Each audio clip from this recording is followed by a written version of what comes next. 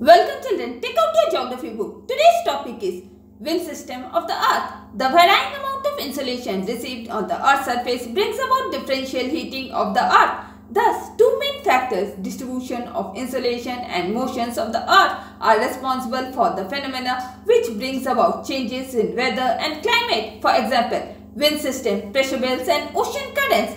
Tropical region receive more insolation than temperate region. Thus, there is a latitudinal imbalance in the heat budget of the earth. As we go towards the poles, the amount of insolation received decreases. Therefore, winds are the means by which atmosphere tries to balance out the uneven distribution of temperature over the earth's surface. In the absence of planetary wind system, it would have been impossible to compensate for the unequal distribution in the atmosphere of incoming solar energy and the loss of Earth's radiation. Besides, winds also carry water vapor from over the bodies of water to land surfaces. But for the winds, equatorial regions would become progressively hotter and the polar regions progressively colder. Atmospheric motion classification. Wind movement in the atmosphere may be classified into three broad categories. Primary circulation is related directly to the really eh, general arrangement of pressure belts and are also known as permanent winds.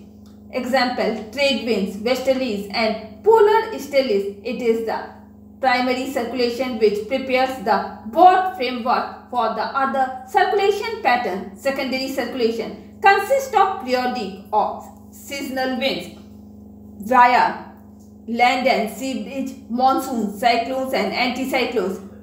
Tertiary circulation includes all local and variable winds which are produced by local causes and which only affect the weather and climate of a particular locality or area permanent winds, trade winds.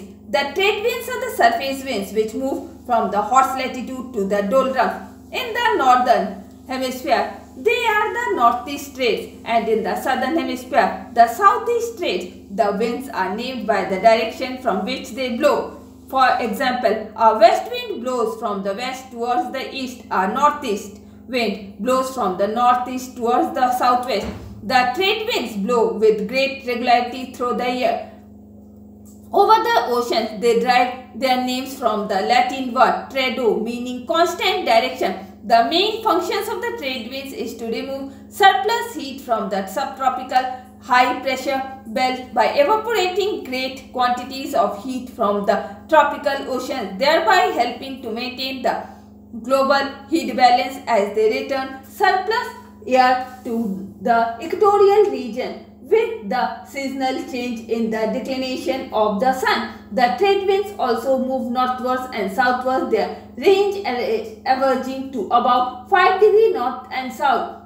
Although weather in the trade wind region is normally fine and quiet, tropical cyclones are often experienced here. In general, the average speed of trade winds varies between 16 and 30 km per hour, while calms are extremely rare and clear. Sunny conditions are usual. And with this, I am ending my today's class. Goodbye.